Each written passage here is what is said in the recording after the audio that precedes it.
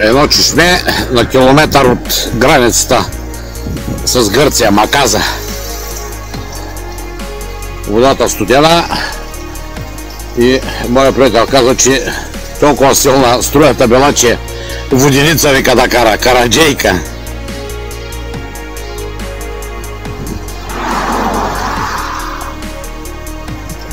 Това е чешмето и един водопад има по-долу Cross Garage.